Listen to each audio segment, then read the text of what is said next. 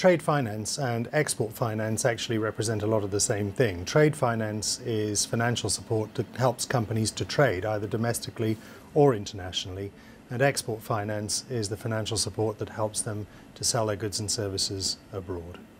Specifically, in terms of what that means, it's uh, access to finance to um, get working capital to fulfill a large order uh, or it's insurance to help insure uh, payments uh, against the risk of default from uh, the buyer, uh, or it's providing bond support where you have to post money in order to win a contract in, and, and give security to the, um, the customer that you're going to deliver. So there's a variety of those sorts of things. additionally, in trade finance, you can look at um, techniques such as factoring or invoice discounting, uh, and even those techniques in, in export finance as well. Whilst the biggest issue for companies looking to export is finding customers abroad, the next issue they'll have is being able to finance that. They may get a very big order from abroad which busts their working capital lines and so they need working capital lines in order to fulfill the export order and that can happen to a company of any size.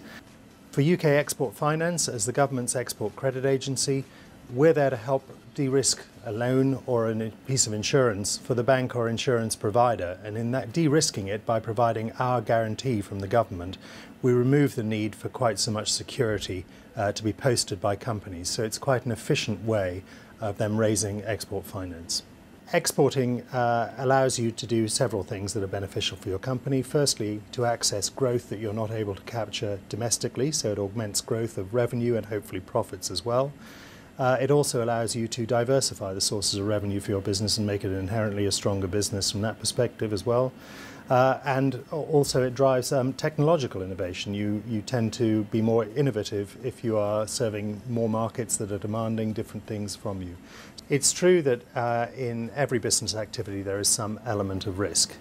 Exporting uh, itself has some risks for, for businesses, but these can be mitigated by export finance to a very large extent, either by allowing you to build up working capital in a secure way because you have export finance uh, from your bank uh, in that form, or alternatively by protecting your payments um, in, a, in a way that uh, secures your, your revenue streams uh, through ins credit insurance. So export finance is inherently something that de-risks your exporting activity, although it can't take all the risks away.